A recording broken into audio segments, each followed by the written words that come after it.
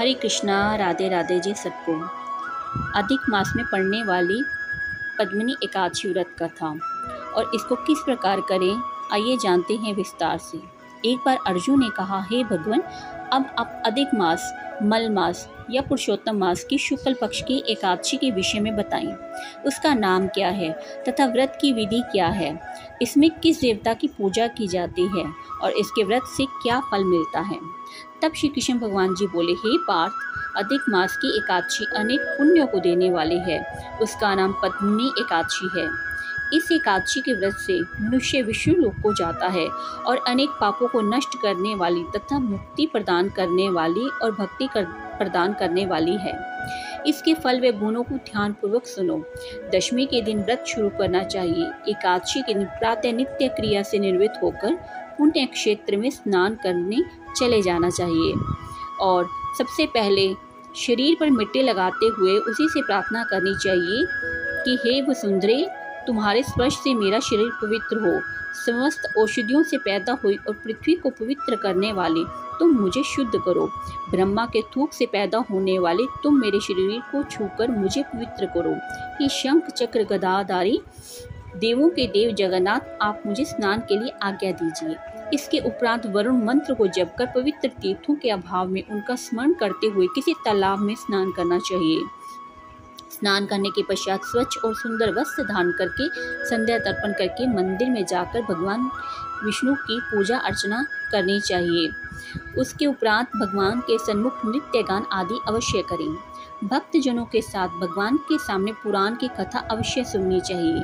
अधिक मास के शुक्ल पक्ष की पद्मी एकादशी का व्रत निर्जल करना चाहिए। यदि मनुष्य में निर्जल रहने की शक्ति न हो तो उसे जलपान या अल्पाहार से व्रत करना चाहिए। और रात्रि में जागरण करके नाच और गान करके भगवान का स्मरण करते रहना चाहिए। प्रति प्रहर मनुष्य को भगवान या महादेव की पूजना अर्चना करनी चाहिए। पहले पैर में भगवान को नारियल, दूसरे पैर में बिल फल, तीसरे में सीताफल और चौथे में सुपारी नारंगी अर्पण करना चाहिए। इससे पहले पैर में अग्नि, होम का, दूसरे में वाजपेयी यज्ञ का तीसरे में अश्वमेघ यज्ञ का और चौथे में राजसूय यज्ञ का फल मिलता है। इस व्रत से बढ़कर संसार में कोई यज्ञ, तप, दान या पुण्य नहीं है। एकादशी का व्रत करने वाले मनुष्य को समस्त तीर्थों और यज्ञों का फल मिल जाता है।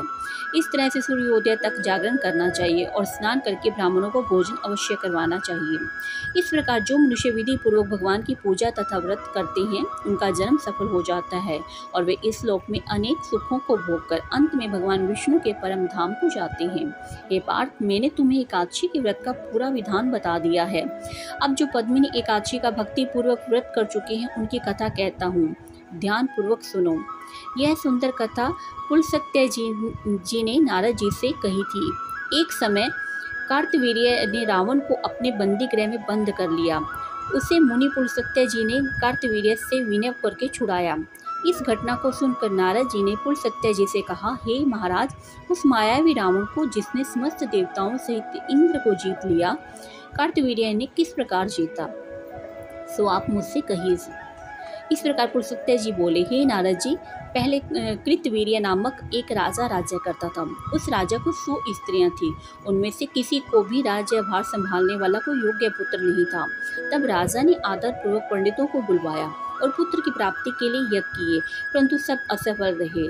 जिस प्रकार दुखी मनुष्य भोग नीरस मालूम पड़ते हैं, उसी प्रकार उसको भी अपना राज्य पुत्र बिना दुख में प्रतीत होता था।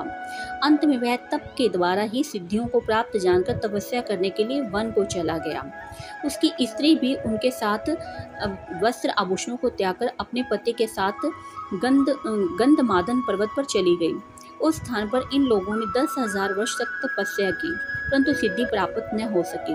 राजा के शरीर में केवल हड्डियाँ रह गई। यह देखकर प्रमदा ने विनय सहित महासती अनुसुईया से पूछा, मेरे पतिदेव को तपस्या करते हुए दस हज़ार वर्ष बीत गए हैं, परंतु अभी तक भगवान प्रसन्न नहीं हुए हैं, जिससे मुझे पुत्र प्राप्त हो। इसका क्या कारण है? इस पर अनुसुईया बोले कि अधिक मास, मल मास में जो की छत्तीस महीने बाद आती है उसमें दो एकादशी होती है। इसमें शुक्ल पक्ष की एकादशी का नाम पद्मिनी एकादशी है और कृष्ण पक्ष की एकादशी का नाम परमा एकादशी है और उसके व्रत और जागरण करने से भगवान तुम्हें अवश्य ही पुत्र देंगे। इसके पश्चात अनुसुईया जी ने व्रत की विधि बतलाई। रानी ने अनुसुईया की बतलाई विधि के अनुसार एकादशी का व्रत और रात्रि में जागरण किया। इससे भगवान विष्णु और उस पर बहुत प्रसन्न हुए।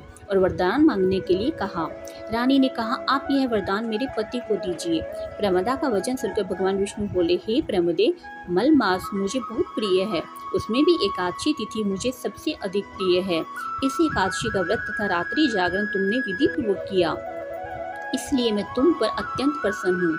इतना कहकर भगवान विष्णु राजा से बोले, हे राजेंद्र, तुम अपनी इच्छा के अनुसार वर मांगो, क्योंकि तुम्हारी स्त्री ने मुझको प्रसन्न किया है।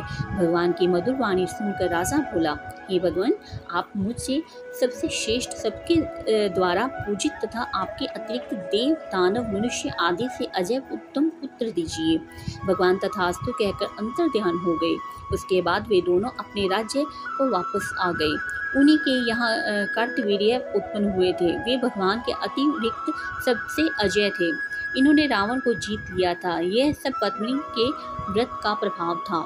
इतना कहकर पुलसित्य जी वहाँ से चले गए।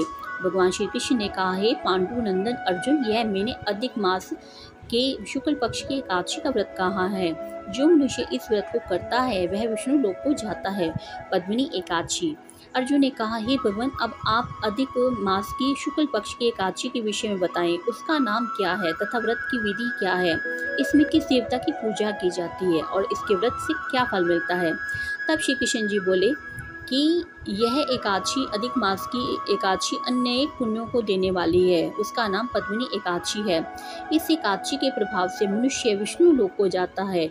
यह अनेक पापों को नष्ट करने वाली तथा मुक्ति और भक्ति प्रदान करने वाली है। और इसी के साथ पद्मिनी एकादशी व्रत कथा समाप्त होती है। अधिक मास में अगर आप व्रत नहीं कर सकते तो इस कथा का श्रवण अवश्य करें, जिससे आपको पूर्ण फल की प्राप्ति हो। हरि बोल हरि बोल हरि बोल। राधे श्याम।